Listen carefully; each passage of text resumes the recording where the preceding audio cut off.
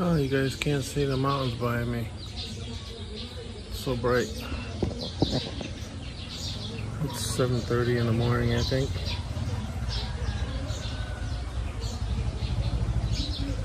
And, uh, had some coffee.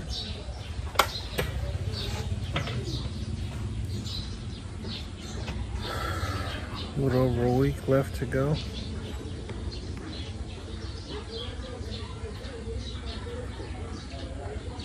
Gonna miss this place once again. But uh,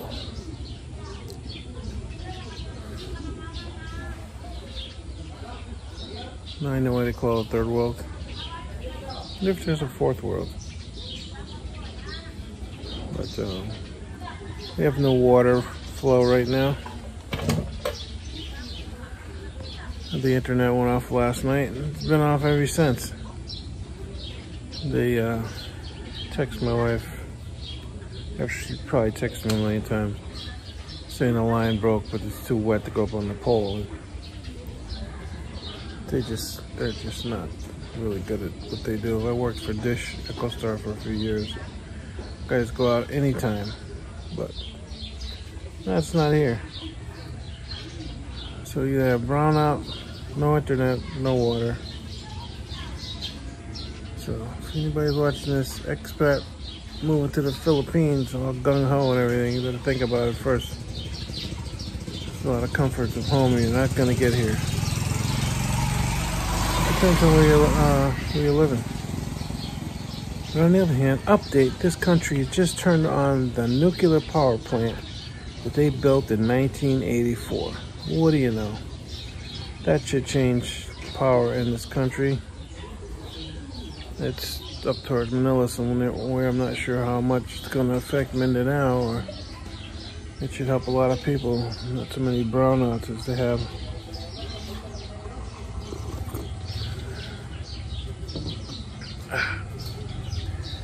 When you guys come in here, they just changed the rules again for the health pass, pass and all that stuff.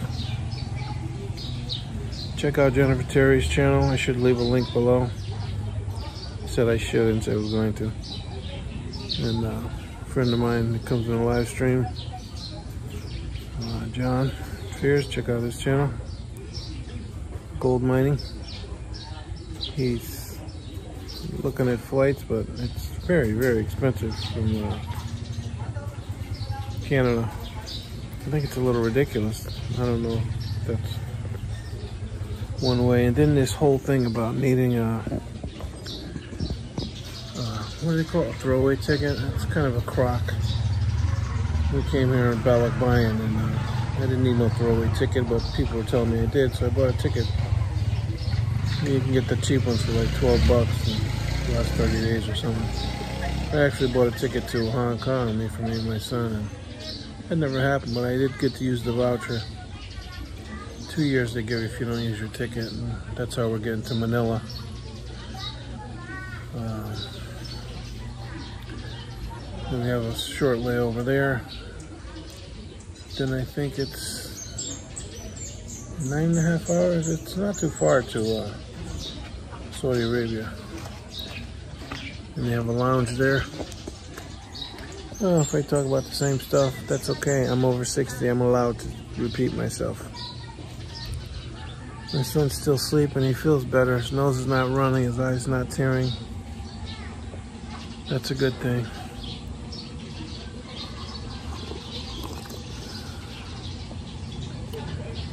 Oh, I'll be at my daughter for a couple days in Mass, and it depends on how long she wants to keep us, but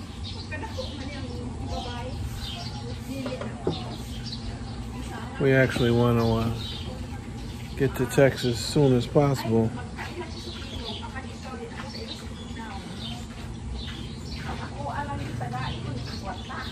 Another thing when you come here, everybody says, oh, they speak English. Yeah, they speak English. They don't want to speak English. They don't want to talk to you, and then they have to uh, deal with our slang. That's the whole problem. Apparently, we have a slang, some of us. But uh, they write, either read and write in English anyways. Well, five minutes into this vlog here.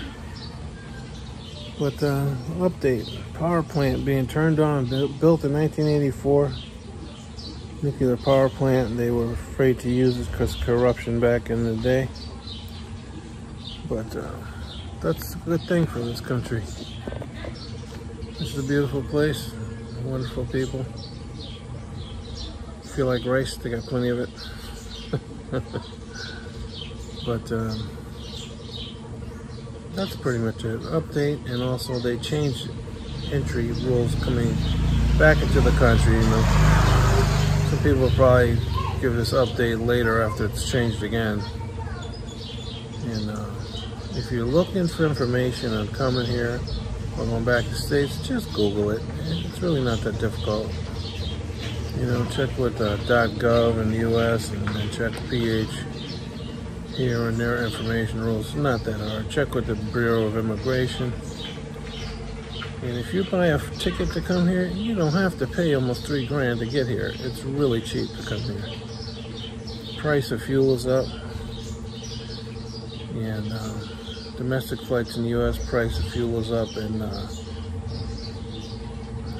there's a lot of jobs in, in the uh, industry right now because people just don't want to work. People don't want to go through all the stupid vaccine mandates the current administration came up with. Guy's an idiot. Sorry. My opinion. I can say what I want to say. But it's Thursday. Go through some more stuff, figure out what we're going to um, carry. We have four luggages and a small TV and a two-year, seven-month-old little boy. but uh, looking forward to trying out Saudi Airlines. They have 777 ER 300 we're gonna go on. And um, it's uh, a wonderful flight. When those babies land, it's like butter. Seriously. Somebody asked me if I was nervous the other day. No, I'm excited, you know. Well, some guys are like, why are you leaving such a beautiful place? Bro, I'm not sitting in Palawan or Boracay, Boracay, whatever you want to call it. I'm in the middle of Mindanao, the place where the U.S. is saying don't go. Yeah, well, the weekend's coming. Be praying for Chicago and all those places to get 100 shootings every weekend. It's ridiculous praying for the good old USA, then where we're going back. But uh, we're excited about moving to Texas. And uh, like I said, guys, you come in here, just Google it. You know what I mean? It's not that difficult. All right. Claude and Jessica living in the Philippines, soon to be Texas. Over and out.